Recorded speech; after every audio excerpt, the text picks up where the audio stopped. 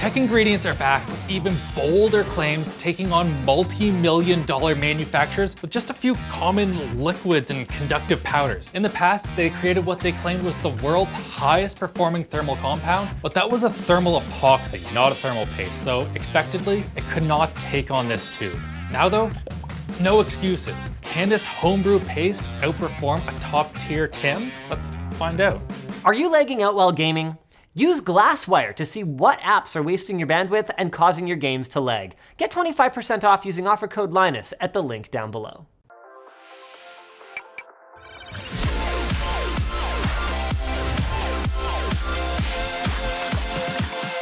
This is what we have right here, the Tech Ingredients High Performance Thermal Paste. It even came with a nice little letter for us. We can put that away though. Now in their video, they did an incredible job of just isolating every single variable. I think that they made a test chamber that was good to 0.2 of a degree Celsius and they had surfaces that were properly prepped and clamping forces. I don't really care about any of that. I am without a doubt sure that this is the best thermal paste for their test apparatus. What their test apparatus is not is a real world computer. Now, we don't have like the proper thermal testing heater thing, but we have a 10900K, which is about as good as you can get to a thermal load. And this is not your normal 10900K. We have it on a Maximus from Asus, and we have it overclocked so much. 4.9 gigahertz all cores, 1.42 volts, voltage locked, core locked, very consistent 204 watts every single time that we hit it. Awesome.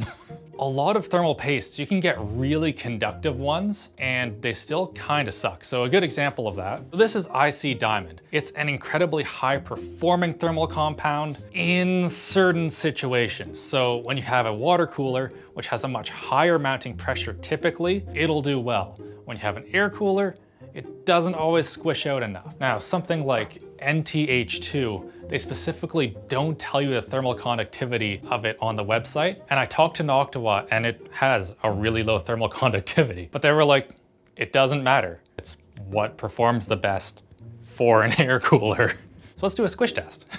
Let's do a little bit of IC Diamond here first. This is our non-scientific but visually interesting squish test. Is this tube empty? Oh, there we go. Oh, balls. Sorry about your acrylic, Colin. Twice? We're controlling the weight based on how much I press on it. So as you can see, this one's not spreading out a whole lot. That worked pretty well, and when I let off, it didn't stop working well. Not too bad for IC Diamond, but I think NTH2 will do better. Air drying off the alcohol.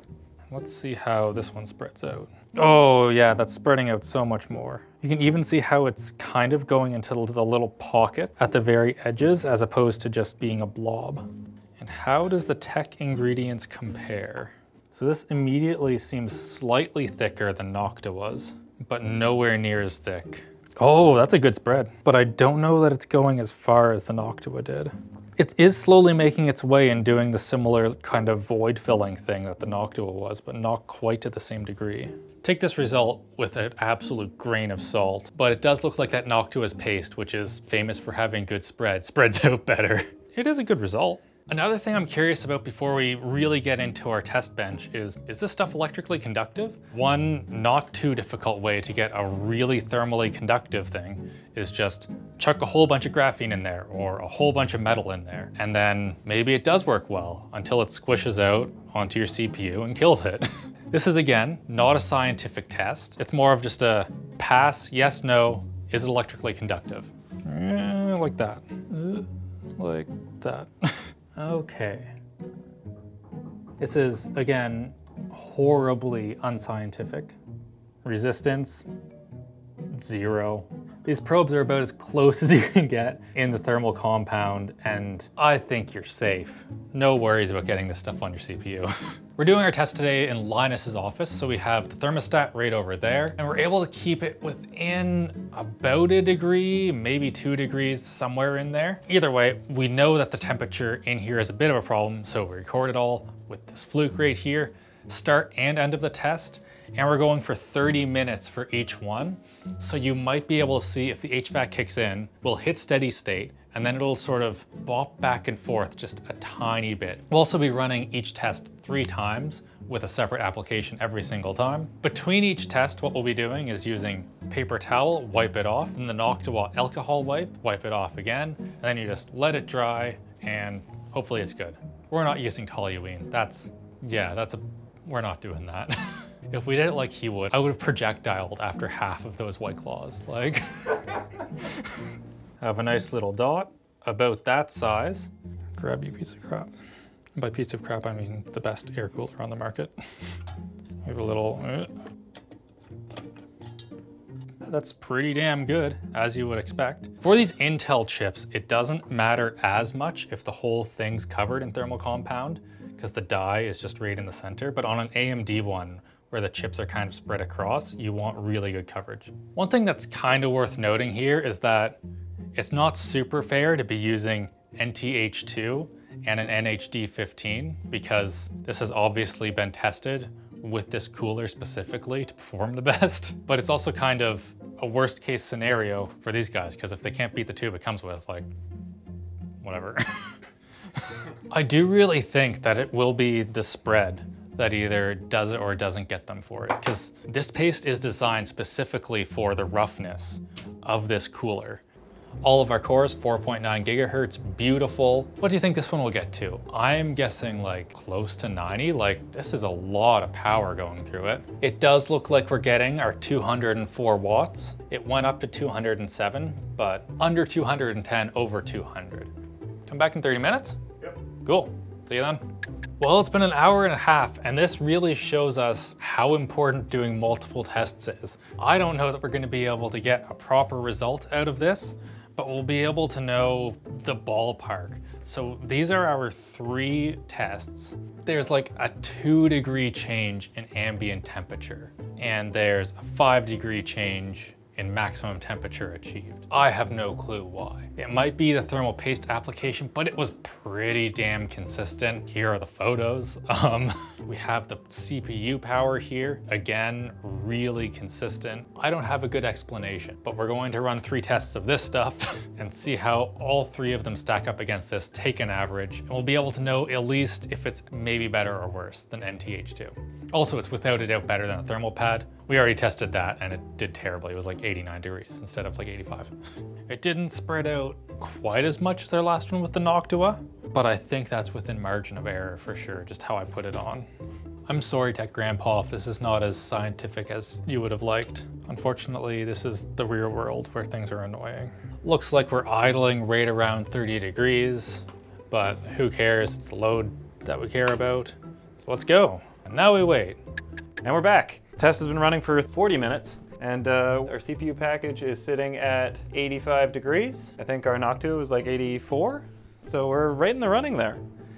Uh, we did go up by about half a degree in the room. So now we're gonna save this log. We're going to remove the cooler, wipe down the paste, clean it up all again, do the exact same seating method, and run another bench for another 30 minutes. And then we can aggregate all of our data together. Now, if you haven't experienced thermal paste on your clothes, you're gonna love it. Never comes off.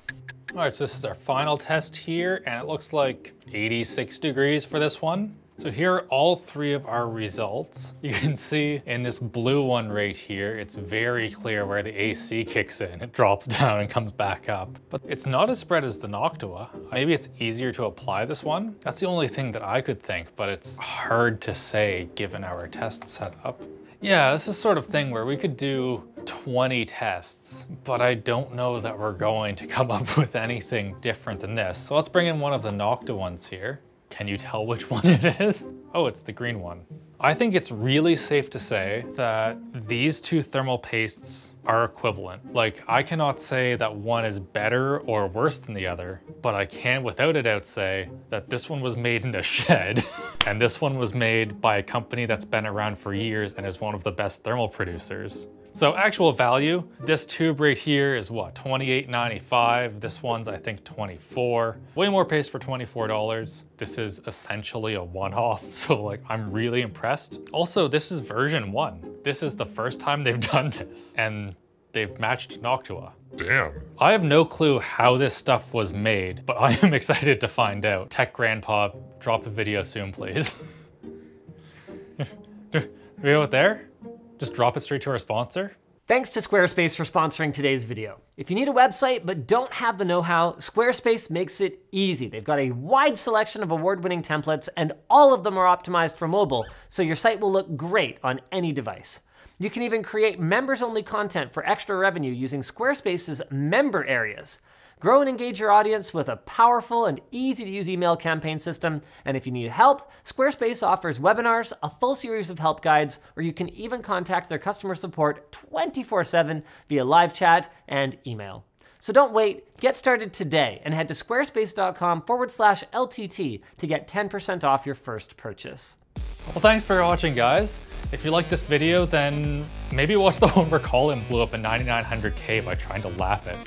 That was That was a stressful day. That, yeah, that didn't look fun. No.